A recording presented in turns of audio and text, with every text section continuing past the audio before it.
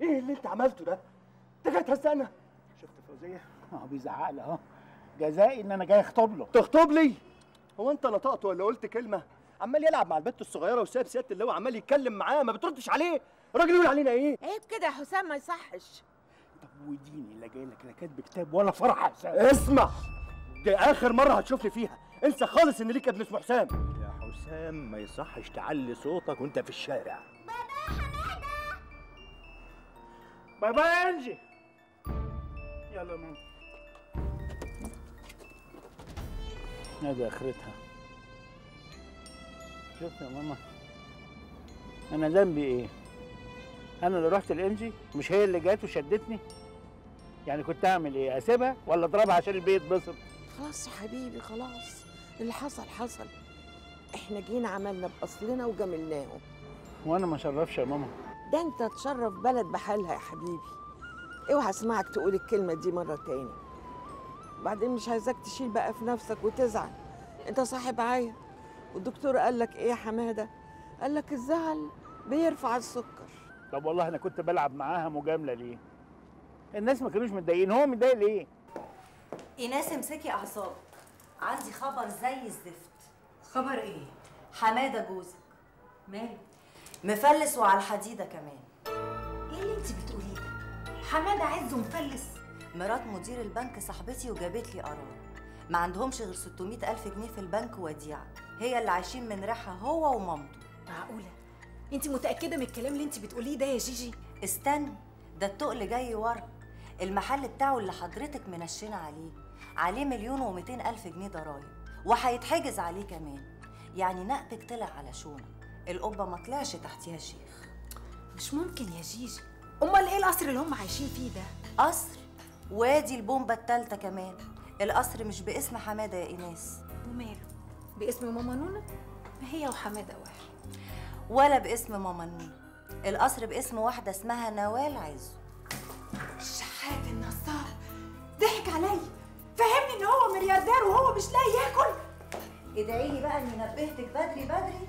وشوفي هتخلصي منه إزاي بالحداقة كده. ده الزفت النصاب بيكلمني. أنا مش طايقة أسمع صوته. لكن لا اسمعي يا شيشي. كده أحسن بكتير. أحسن؟ أحسن إزاي؟ كده المحل بقى بتاعي خلاص وأسرع مما كنت اتصور يعني البلح اللي كان هيقع من على النخلة هيقع. إحنا كل اللي هنعمله هنهز النخلة شوية ونلقوا في البلح براحتنا.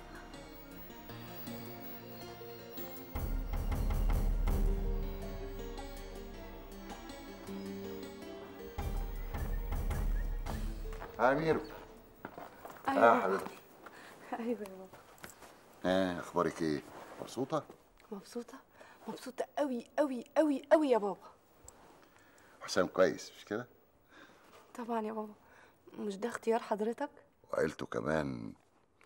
عيلة كبيرة. جده منير بيه الجوهري من أعيان المعادي. ما هو بيحبني قوي يا بابا.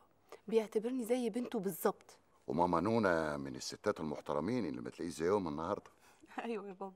دي طيبة جدا. إنما إيه رأيك بقى في الأستاذ حمادة؟ بابا حسام؟ أيوه.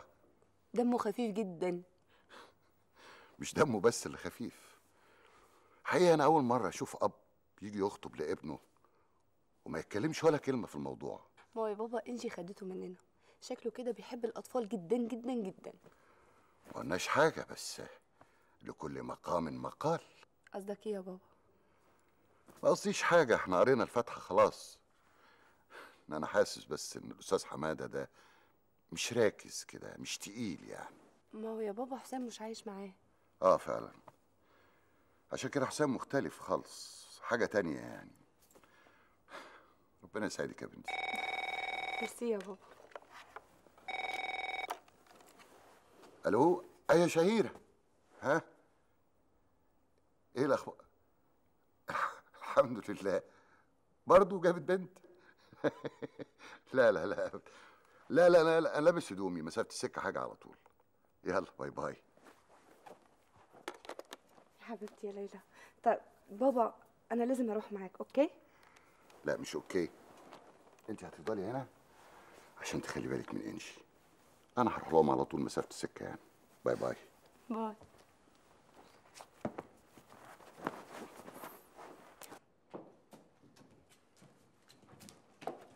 الحمد لله. ايناس لسه صاحية اهي عشان تتسلوا كده مع بعض وتفرفش بقى وانسى اللي حصل ده. مساء الخير يا نوسة. ازيك يا ماما؟ في إيه يا ناس انت بتعيطي في إيه يا ايناس هيثم بخير؟ الحمد لله هيثم كويس. بس في مصيبة كبيرة قوي. مصيبة إيه؟ واحدة صاحبتي بتشتغل في الضرايب. قالت لي إن أنت عليك مليون ومئتين ألف جنيه وهيحجزوا على المحل ويا الدفع يا الحبس. يعني إيه؟ يسجنوني يا لهوي! أنا من ساعة ما عرفت يا ماما وأنا منهارة. لا أنا ابني لا يمكن يسجن ابدا. المبلغ لازم يدفع بأي طريقة وفي أسرع وقت ممكن. وإلا هيحجزوا على المحل وعلى كل ممتلكاتك وهيعرضوهم للبيع بالمزاد العلني. ساعتها مش هنقدر نعمل حاجة. أنا لو معايا ما كنتش أتأخر. هو أنا إيه يا حمادة وأنت إيه؟ بس أنت عارف الظروف بقى. يا دي المصايب اللي نازلة ترف على دماغنا. يا ما رقي نشف يا ما قلت لك. ادفع الضرايب والتأمينات. حتى سيد غلب معاك هو كمان. يا ماما أنا مش ناقص بقى. هنعمل إيه دلوقتي؟ هو ده المهم. خلاص يا حبيبي. خد حتتين الصيغة اللي حيلتي بيعهم وتصرف في تمن. صيغة إيه بس؟ يا ماما بتقولك مليون و200 ألف جنيه. نوايا تسدد الزير. مفيش غير إنه يبيع المحل ويخلص منه. إيه؟ يبيع المحل؟ أنت بتقولي إيه يا إيناس؟ هو المحل بيكسب يا ماما. مش جاي لنا منه غير الخسارة ووجع الدماغ. المشكلة مين اللي هيرضى يشتري المحل دلوقتي؟ كان مستخبي لنا فين ده بس يا رب؟ خلاص بقى يا ماما هتعددي. اشمعنى؟ حد بيدفع ضرايب. خلاص مصر كلها دفعت الضرايب. ما فضلش غير حمادة. لا حول الله يا رب ايناس النبي يا أختي تطلعي تقعدي معاه. ده عنده السكر والزعل وحش عشانه. قولي له خلاص يا حمادة ما تزعلش. إن شاء الله هتفرج. حاضر يا ماما. آدي اللي كنت عاملة حسابه. طول عمرك في الدنيا لوحدك بطولك يا ابني. يا رب حياة حبيبك النبي تقف جنبه وتخرجه من الأزمة اللي هو فيها دي يا رب. إزيك يا ميرفت؟ مبروك. آه، ميرفت أنا في حاجة م- مش قادر أنام إلا لما أقولها لك. يعني أنا حسيت إن بابا زودها شوية النهارده وأنا خفت لا يكون سيادة اللواء اتضايق منه. آه أصل بابا طول عمره كده. ما بيعملش اعتبار لأي حاجة. انت بتقول إيه يا حسام؟ بابا عمره ما هيفكر بالأسلوب ده. اللي حصل ده مجرد إجراءات شكلية. إنما بابا موافق عليك من أول لحظة. وإلا عمره ما كان هيوافق إن إحنا نقرأ فاتحة. لا ده انت طلعت حساس قوي. على فكرة أنتوا وشكوا حلو علينا قوي قوي قوي. ليلى جابت بنت. إيه؟ عقبالنا لا أنا عايزة بنت. انت بتكلمي مين؟ ثانية واحدة يا حسام وانتي مالك؟ على فكرة أنا عارفة انت بتكلمي مين. يا قروبه بس لعلمك بقى شكله وحش. حمادة أحلى منه. يا سلام. هو عشان حمادة قعد يلعب معاكي وساب القعدة كلها يبقى شكله أحلى؟ ميرفت ما تتجوزي حمادة شكله حلو. امشي يا بنت من قدامي. امشي مش ناقصاكي. ألو أيوه يا حسام اتفضلي يا ست الكل. يا دي النور يا دي النور. اتفضلي. ماما نونا مش ممكن. وأنا أقول إيه المظاهرات اللي بره دي؟ ربنا ما يحرمنا منك يا ست الكل. اتفضلي. اتفضلي يا ماما نونا أنا والله ما مصدق. تشربي إيه؟ شاربة كتير قوي. اتفضل يا حبيبي اتفضل عشان ما اعطلكش طيب يا جماعة متشكرين. اتفضلوا اتفضلوا على مكاتبكم أروح أنا بقى أحضر الكركديه لست الكل. لسه فاكر يا محمود. دي أحلى أيام يا ست الكل. هي دي أيام تتنسي. آه يا حبيبي. اقعد يا كمال اقعد يا حبيبي. الحاج خليل لو عرف إن جاي هنا كان فرش الأرض رمل. إزاي الأحوال؟ طمنيني عليكي الأحوال مش تمام يا كمال. ليه بس؟ إيه اللي حصل؟ قلقتيني. حمادة. ماله حمادة؟ مش بقى كويس وخرج من المستشفى وزي الفل؟ الحمد لله صحته الله أكبر. صحته كويسة وزي الفل. بس بقى المشكلة اللي واقع فيها كبيرة قوي. الضرايب هتحجز عليه. ليه؟ هو متهرب من الضرايب؟ لا والنبي ما تهرب ولا حاجة. ما انت عارف حمادة. هما كده اللي جم فجأة وقالوا له عليك المبلغ الفلاني. يا الدفع يا الحبس. هو عليه كام يعني للضرايب يا ماما نون مليون ومئتين ألف جنيه. كام؟ ده ده ما بيدفعش بقى من يوم ما فتح. وإيه اللي خلاه ساكت كده؟ أهو اللي حصل بقى يا كمال. مصيبة وقعت فوق دماغنا. وبعدين يا ماما نونا هتعملوا إيه؟ مش عارفة يا كمال. عشان كده أنا جيت لك أفضفض معاك. عارفاك طيب وحنين وبتحب حمادة. عشان كده جيت أتكلم معاك. لا دي دي, مصيبة فعلا. والمبلغ المبلغ كبير قوي. يعني بقول يا كمال يعني لو ممكن تدفع لنا المبلغ وأول المحل ما يمشي شوية نبقى ندفعهم لك. يا ريت يا ماما نونا أنت عارفة أنا عمري ما أتأخر عنك ابدا. بس أنت عارفة ظروفي. أنا ال- ال- الوديعة اللي أنا عايش منها ما أقدرش أفكها. ده أنا واخد فيلا في مارينا بدفع قسطها 30 ألف جنيه في الشهر. والله والله كل شهر ببقى مش عارف هسددهم إزاي. يا ريتني ما خدتها. وحتى ما أقدرش أبيعها لأنها مرهونة للبنك لغاية أما تمنها يخلص. أنا أنا والله ما أنا عارف أقول لك إيه أنا أنا مكسوف منك خالص. لا يا كمال لا. أنا عارفة حبيبي لو كان معاك ما كنتش هتتأخر. أنا عارفة. مش عارفة مش عارفة أعمل إيه مش عارفة أقول إيه. والله يا ربي والله عمرنا ما عملنا حاجة وحشة في حد.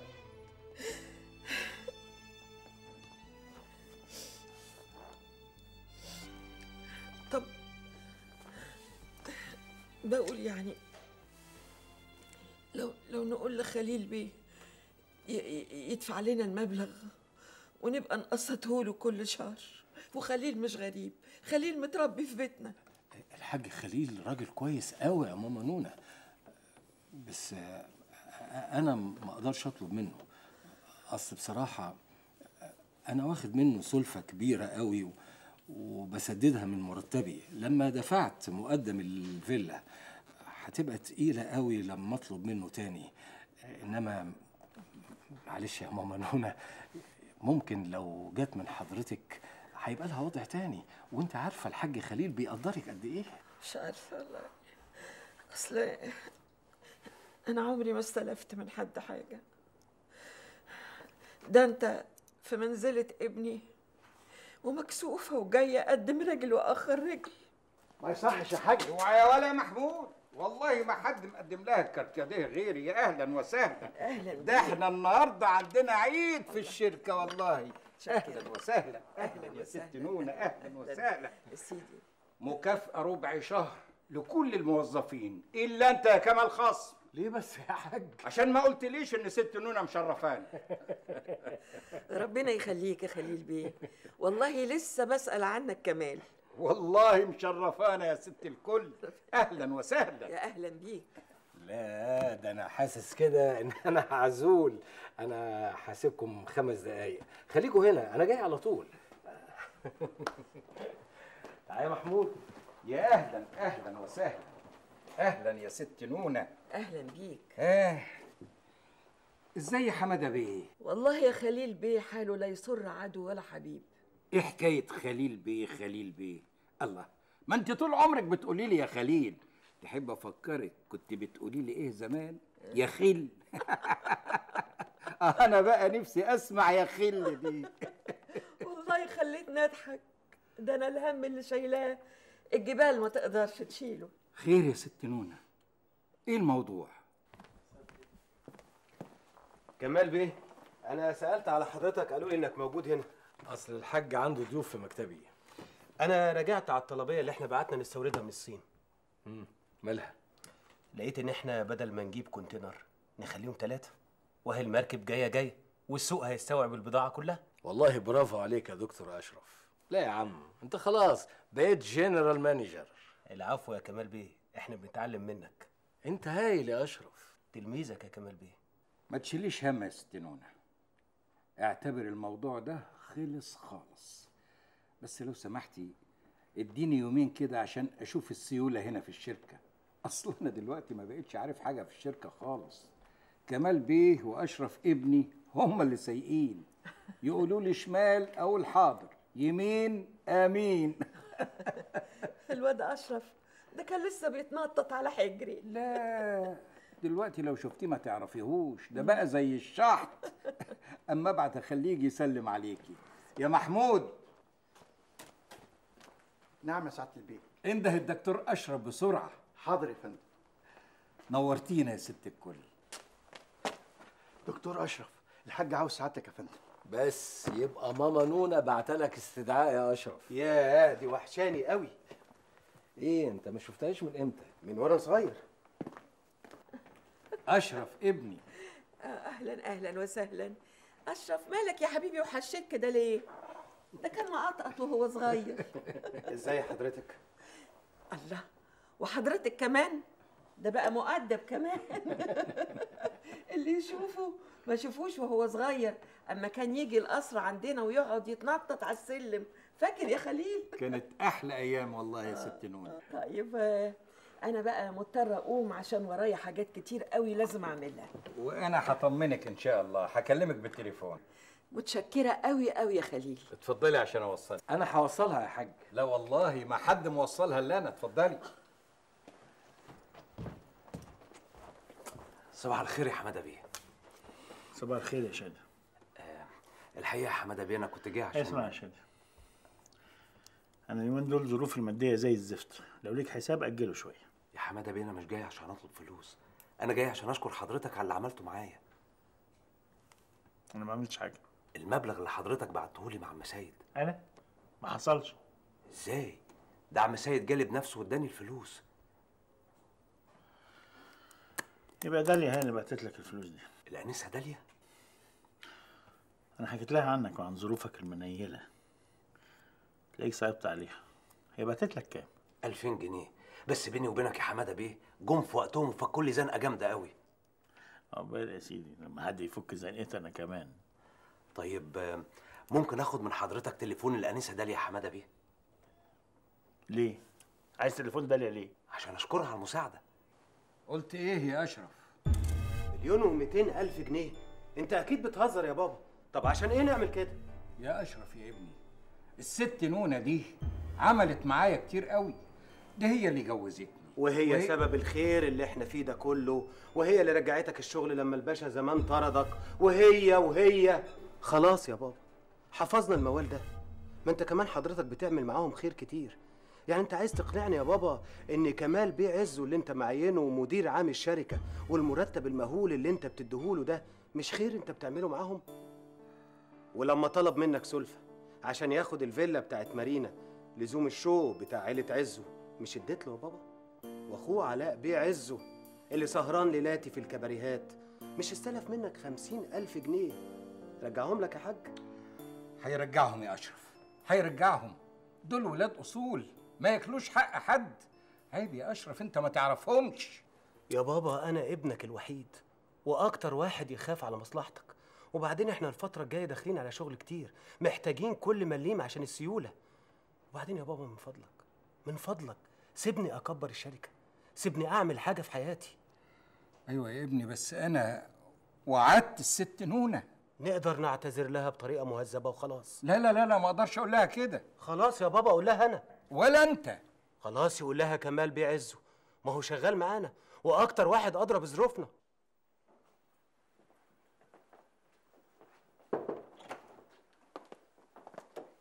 عمر مع الباشا.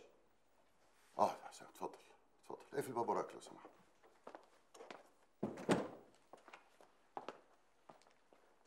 ما تدخليش حد. تعرف يا حسام أنا بعزك قد إيه؟ ومؤمن بيك قد إيه؟ وبشجعك على طول. طبعا يا معالي الباشا. أفضل ما عليك هتفضل دين في رقبتي طول عمري. أنت يا ابني في حد ذاتك نموذج للضابط الملتزم الجريء. دي محدش يقدر ينكرها. دي شهادة كبيرة يا باشا. عشان كده ما ترددتش في إنك تتقدم لبنتي. ده شرف ليا يا معالي الباشا. لكن طبعا كان كان لازم نتعرف بالأستاذ حمادة والدك ونقعد معاه. لأن يا ابني الجواز مش شركة بين اتنين بس. ده شركة بين عائلتين. ولازم يبقى فيه تناسب بين العائلات عشان كده سموه نسب. الحقيقة الأستاذ حمادة والدك راجل لطيف وحبوب قوي. يمكن واخد الحياة ببساطة زيادة عن اللزوم. لكن مش هي دي المشكلة. أنت عارف طبعا إني من حقي كأب إن أنا أتحرى عن والدك وعن العيلة اللي هنسيبها طبعا يا باشا. إحنا بنشتغل في مراكز حساسة. الواحد قبل ما يحط ايده في ايد اي حد لازم يدقق زيادة عن اللزوم. مظبوط يا معالي الباشا الملف ده فيه بعض المعلومات عن والدك. أنا مش هعتبر المعلومات دي نهائية. قبل ما تجاوبني على بعض علامات الاستفهام عن والدك. يعني مثلا موجود هنا إن الأستاذ حمادة اتجوز ثلاث مرات. أول مرة أتجوز فيها كان من فوزية هانم والدتك. وبعدين اتجوز عيشة دي كانت شغالة تقريبا عندكم في البيت أو بنت الشغالة أو بنت الدادة حاجة زي كده. دي اللي خلف منها إبراهيم الولد الثوري بتاع حركة الطلاب من أجل التغيير. مظبوط؟ أيوه الباشا وبعدين اتجوز مؤخرا من واحدة أرملة صغيرة في السن اسمها إيناس. مش كده؟ أيوه الباشا مكتوب عندي كمان إنه اتجوز مرتين عرفي. من واحدة رقاصة وبنت صغيرة كانت بتشتغل موديل بتاعت إعلانات. أنت كنت تعرف ده؟ لا يا الباشا كمان المركز المالي بتاع الأستاذ حمادة وحش جدا. عليه مبالغ مهولة للضرايب والتأمينات و... وديون للعملاء اللي كان بيشتغل معاهم في حكاية اللعب دي. يا ابني الظروف المتلخبطة دي ممكن يكون نهايتها السجن لو ما اتحلتش. معلش يا حسام يمكن كلامي يبقى قاسي شوية. لكن إحنا لازم نفكر بعقل وروية. وأرجوك ما تفهمش من كلامي إن أنا برفض جوازك من بنتي ميرفت. أنا شايف إنك قبل ما تبتدي حياتك الجديدة لازم تظبط الأساس اللي هتبني عليه حياتك. يعني تقرب من أبوك شوية تساعده. مش عيب هو محتاج لك دلوقتي أكتر من أي وقت فات. وأنا شايف إن إحنا مش مستعجلين على الجواز. ولا انت رايك إيه اللي تشوفه يا معالي الباشا أرجو يا ابني إن كلامي ما يكونش ضايقك العفو يا معالي الباشا أيوه يا عمر. شكرا. اتفضل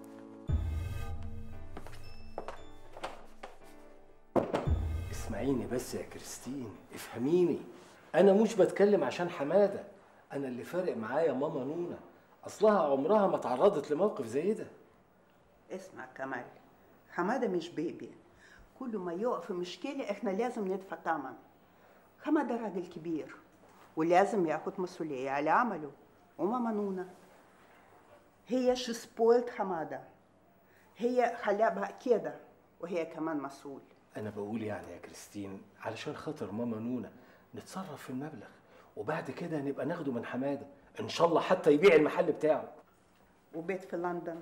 لسه ما دفعناش اقساطه إزاي يعني. ومصاريف كورسي علشان جوليا. أنت كمان مش ياخد قرار لوحدك هنا.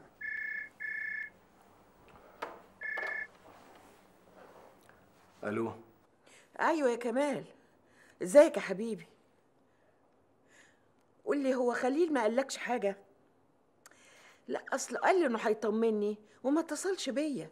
أنا الحقيقة مش عارف أقول لك إيه يا ماما نونا الحاج خليل بيعتذر لك قوي. كان نفسه يعمل حاجة.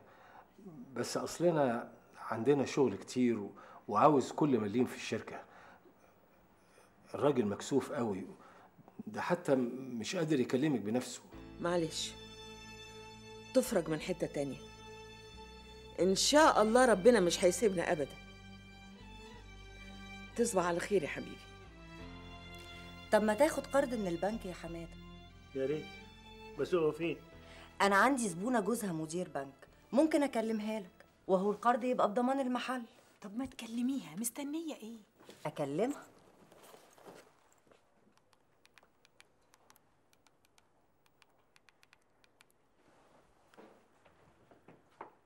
ألو هاي يا نبيلة ازيك؟ عاملة إيه؟ إحنا يا ستي عايزين من جوزك خدمه آه الأستاذ حمادة عز جوز إيناس. آه إيناس بتاعة البيوتي سنتر. دي زبونه عندك يا فالحة. طب اديهالي طب إيناس هتكلمك أهي. ألو بلبلة إزيك يا روحي؟ عاملة إيه؟ الحمد لله. أصل حمادة جوزي عايز يقدم على قرض من البنك من عند جوزك. آه بضمان المحل. طب بيروح له إمتى؟ okay. بيتكلموا. ده نص ساعة بالكتير هيكون عنده. fr: merci قوي يا روحي. وصي جوزك بقى. bye. إن شاء الله يا حبيبي هتتحل. ميرسي يا جيجي. ميرسي قوي يا إيناس. ميرسي على إيه يا راجل أنت؟ هو أنا غريبة عنك. ده أنا مراتك. حالا هروح له.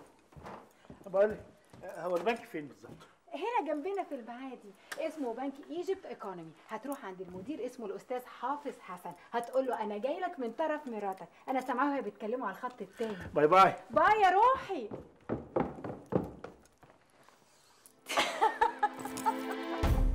يا حبيبي ما تعملش في نفسك كده.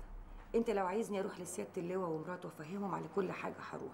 وأقول لهم إن إحنا أصلا ملناش أي علاقة بالراجل ده. واصلا هو ما كانش جاي. هما اللي أصروا إنه يحضر. وبعدين كل عيلة وفيها مشاكلها يا حبيبي وإحنا مش المفروض نتكسف في الحاجات دي. ولو كان سيادة اللواء معترض على تصرفات أبوك إحنا معترضين أكتر منه. أنا زهقت يا ماما. زهقت من حياتي كلها. الظاهر مكتوب عليا أفضل طول عمري أدفع ثمن غلطات أبويا. هي امه السبب في كل اللي بيحصل ده. فضلت تدلع فيه لحد ما بقى كده وعمره ما هيتصلح. فأحسن حاجة ليك إنك تنساه وتطلعه من دماغك خالص. أنساه؟ أنساه إزاي بس يا ماما؟ ده أنا مربوط بيه. عامل زي اللي متشعلق من رقبته. حسام حماده عزه هينسى إزاي ان ابوه حماده عزه ربنا يخليكي لينا ايناس ربنا يقدرنا على رد جمايلك. ما تقوليش كده يا ماما. جمايل إيه بس؟ هو أنا كل ما أحس إني خلاص بقيت واحدة منكم تقولي لي الكلام ده برضو حمادة يا أختي اتأخر قوي عند الراجل بتاع البنك ده. ما دام اتأخر يبقى خير. تلاقيهم بيناقشوا شروط القرض والحاجات دي. آه حمادة جه. خير يا حمادة عملت إيه؟ ما نفعتش. ليه؟ عشان أخد قرض لازم أقدم شهادة تثبت إن أنا دفعت الضرايب والتأمينات وكل الفلوس اللي على المحل. طب وبعدين؟ أنا عارف بقى. ولا يهمك. أنا هقدم على قرض بضمان المحل بتاعي وهدفع لك الفلوس. انت أصيلة قوي قوي يا أختي. ربنا يخليكي لينا يا ايناس ما تقوليش كده يا ماما. أنا غصب عني لازم أعمل كده. هي الست اللي ما تقفش جنب جوزها تبقى زوجة برضو انتي مبوزة ليه بس يا بيضة؟ هتتحل. طول ما النوس وراك ما تخافش. ما يجيبها الا ستاتها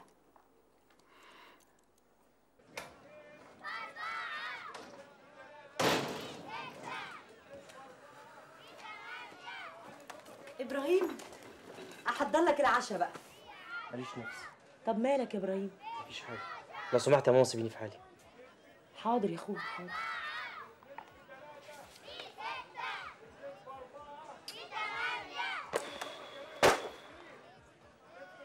مالك يا حبيبي؟ في إيه؟ مفيش حاجة. بس مش عارف أركز. أعمل لك كوباية شاي بقى هي اللي هتخليك تركز. يا ماما قلت لك مش عايز أشرب حاجة. هقولها 100 مرة. يوه ده ما بقاش بيت ده بقى بستان صلي على النبي كده يا ابني واستهدى بالله. أنا هخش المستشفى فيه أقول له يوطي الصوت شوية. استهدى بالله.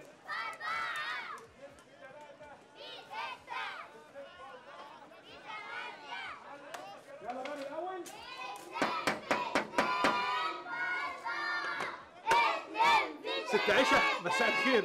أموري. ممكن يا أستاذ شفيق الولاد يوطوا صوتهم شوية عشان إبراهيم مش عارف يذاكر. قوي قوي من عينيا الاثنين بس يا موصوف الرقبه منك ليه؟ ما تقلقيش يا ست عيشة أنا هديهم واجب يعملوه صفحة 14 يكتبوها 25 مرة وهم ساكتين. كتر خيرك يا أستاذ شفيق. تصبح على خير. وأنت من أهله. خلاص يا إبراهيم أنا كلمت الأستاذ شفيق وقال لي مش هيطلعوا حس خالص. أنت بقى اقعد ذاكر يا حبيبي ولو احتجت أي حاجة أنا مش هنام. هفضل صاحي. ماشي؟ أنا هنا جنبك.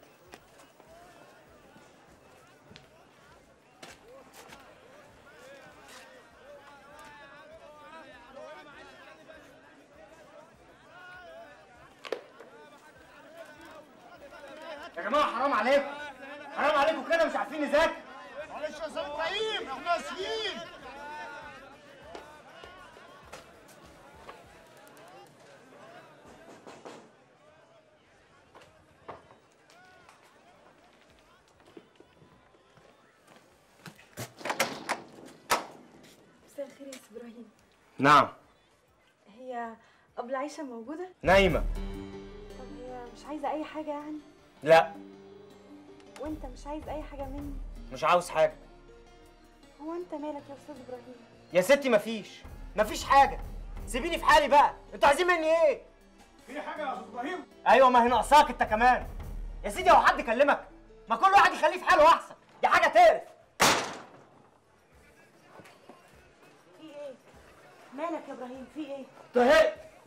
زهقت من العيشة واللي عايشينها يا رب خدني بقى. أنا حاسس إن أنا عايش في جهنم. بعد الشر عليك يا إبراهيم. مالك يا ابني؟ ما إحنا عايشين أحسن عيشة. تحب أوريكي أحسن عيشة عايشينها؟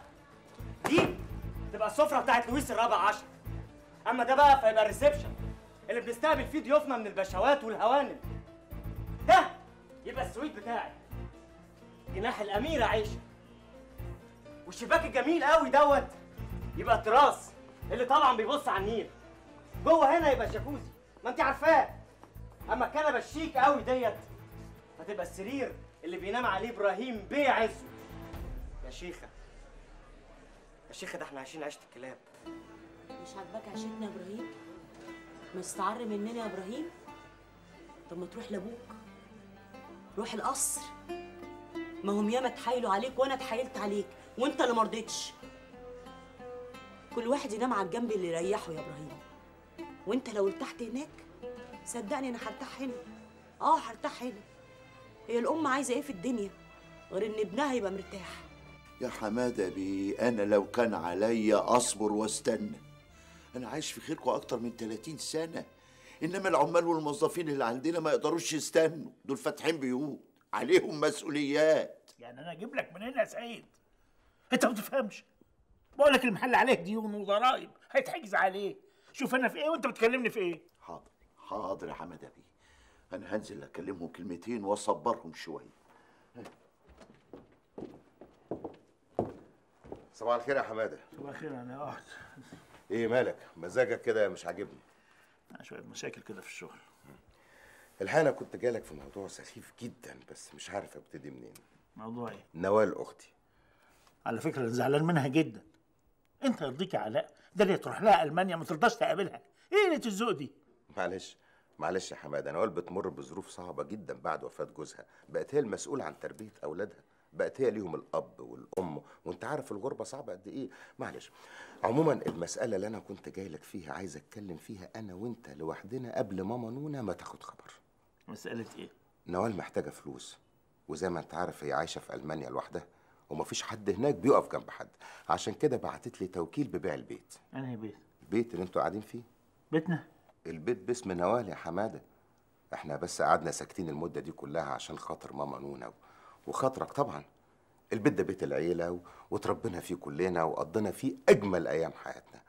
أبويا الأول مات الله يرحمه وبعدين أبوك الله يرحمه مات وماما نونا هي اللي ربتنا كلنا. وطبعا يعز على الواحد إن هو يجي بعد العمر ده كله ويطلب منها إنها تسيب البيت. لكن أحيانا الظروف بتبقى صعبة جدا وبتضطر الواحد إنه يعمل حاجات ما كانش ممكن يتخيل إنه يعملها.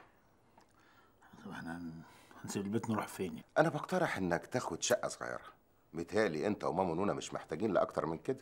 القصر بقى كبير قوي عليكم وحتى لو حبيت تقعد مع المدام بتاعتك لحد ما تظبط أمورك ما فيهاش إشكال. أنا ما أقدرش أعمل حاجة زي كده دلوقتي. أنا ظروفي صعبة والمحل هيتحجز عليه. عموما أنا هحاول اخر الموضوع قد شهر كده ولا حاجة لحد ما ترتبوا أموركم. معلش يا حماد أنا آسف. سلام. ثانية علاء أنا على فكرة مش قادر أتصور الكلام اللي أنت قاعد تقوله حتى لو البيت باسم نوال إحنا لينا فيه يا أخي. إحنا عايشين عمرنا كله في البيت ده. مش بسهولة نخرج منه كده. اهدى بس كده معايا يا حمادة وبلاش الكلام الفاضي اللي بتقوله ده. مفيش حد فينا له أشياء في البيت ده غير نوال. انت إيه ناسي ولا إيه؟ عزه باشا الله يرحمه وزع كل أملاكه على أبويا وأبوك بالعدل. أبوك خد الشركة وأبويا خد البيت ده والشقتين اللي قاعدين فيهم أنا وكمال. يعني كلنا خدنا وده نصيب نوال. لازم تاخده في الآخر. بتتكلم كده كمان كنا خلاص خدنا قرار ببيع البيت. القرار ده مش لنوال لوحدها.